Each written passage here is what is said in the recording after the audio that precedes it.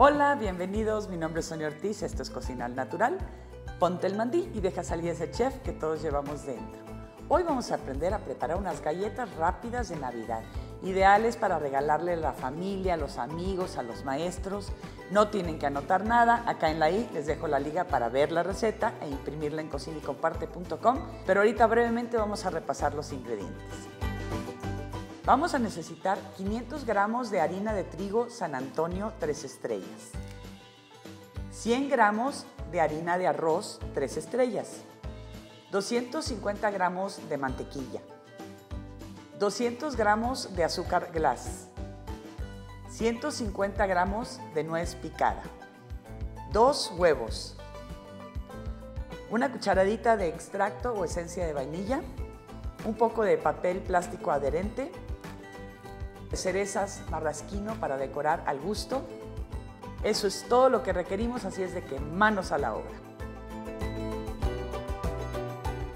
Primero que nada mezclamos la mantequilla, el azúcar glass, un huevo, la nuez picada,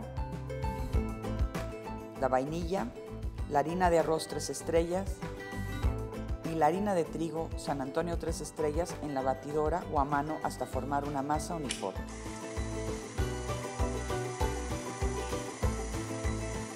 Hacemos una bola con la masa y cubrimos con papel plástico autoadherente.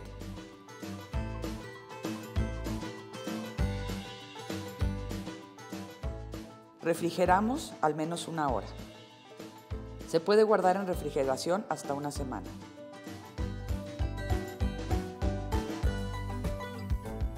Suavizamos un poco la masa con las manos. Extendemos con un rodillo sobre una superficie previamente enharinada hasta que tenga medio centímetro de grosor. Cortamos las galletas con tu figura favorita y las colocamos sobre una charola para horno.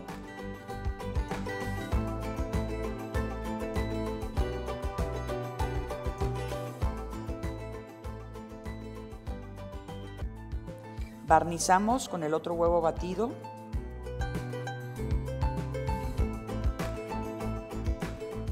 Decoramos con trocitos de cereza marrasquino.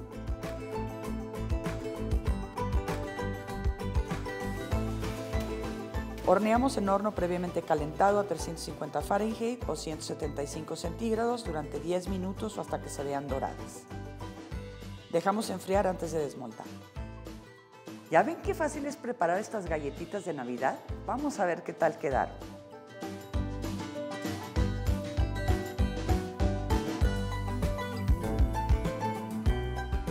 Si a mí me regalan algo así, siento que me quieren. Si les gusta esta receta, denos un like, prepárenla en casa, compártanla. No olviden suscribirse a Cocinar Natural y darle clic a la campanita para que no se pierdan ninguno de nuestros videos. Buen provecho, hasta la próxima. Espero que les haya gustado mucho esta receta.